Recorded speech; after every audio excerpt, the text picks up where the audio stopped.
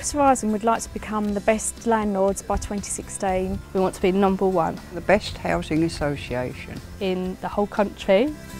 but also they want to be able to change the perception of what social housing is about and the influence it can have.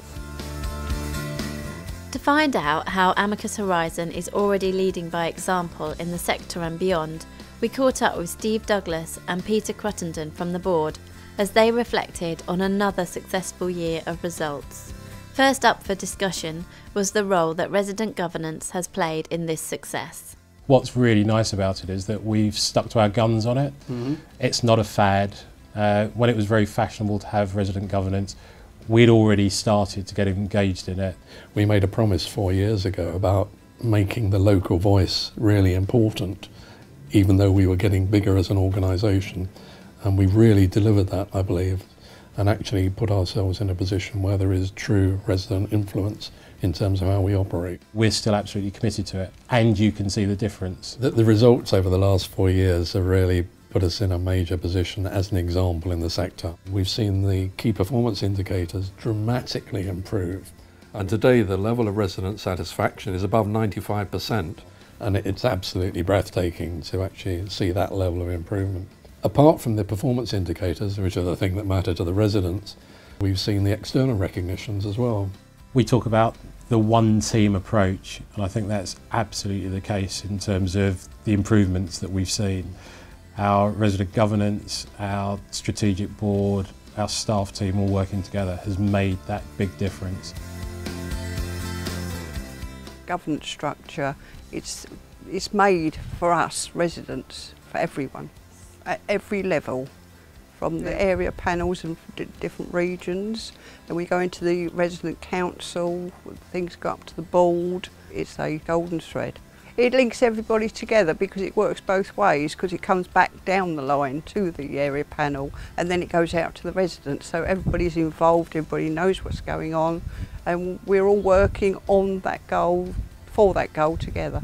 they've got this, you know, overarching thing of the one team approach, which at the end of the day, you know, serves to help everyone, you know, residents, the staff, you know, and um, the wider community.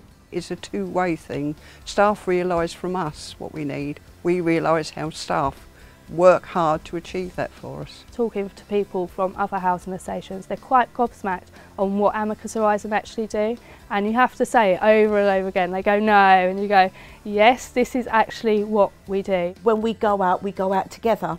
Um, Amicus Horizon, as well as residents, we meet the community um, as um, one team, and a lot of the residents are quite surprised when we do the door knocking or we greet them and actually say, "No, we're residents, so we know um, what you're going through, but we want to hear it from you." Residents are at the heart of decision making, and from this, we have achieved many awards. Amicus Horizon recognises that each and every resident can influence their local areas and help to build stronger communities. They're blazing a trail, changing the way the public sees social housing tenants. Their contributions have been recognised with several prestigious awards. Residents themselves are the best advocates for the success of Amicus Horizon. And nowhere is this more true than with the young people who sit on the youth forums. I think it's very important for the young people to help with Amicus Horizon because it, it stops perception of making us feel that we destroy our community. Everyone thinks that young children ain't capable of doing stuff for their community. They think they're out on the streets doing like bad things and stuff, but really they're actually not. They're they're like actually helping their community. Like me and Demi, like the young the young tenants around our areas, um, the Amicus Horizon house, we we we're the ones that run the project, so it just shows our younger generation, so our little brothers and sisters, that they can help stop everyone thinking that kids are ruining the area. The work of Amicus Horizon's young residents has been recognised by the Tenant Participation Advisory Service, who presented them for three consecutive years with the National Young Tenant of the Year award. I think this shows that they really want to work with residents of all ages and backgrounds. Sometimes you feel very happy about certain things you do because like you, you find that it's helping your community and with people that live around you. I get a real buzz off it because I can walk through my community now and I have the little, the, the little, the younger generation just coming up to me and saying, am I going to run this club next? Am I going to run that club? And they're just throwing ideas at me and they, you can see they really, really enjoy it. So knowing that I'm part of that is something that I would want to do in the future as well as keep doing it in the present. One of the aims of Amicus Horizon is to change perception of social housing residents and our young people certainly have done that.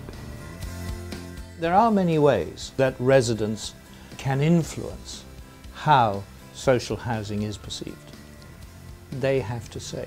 I live in social housing and I'm also part of Amicus Horizon.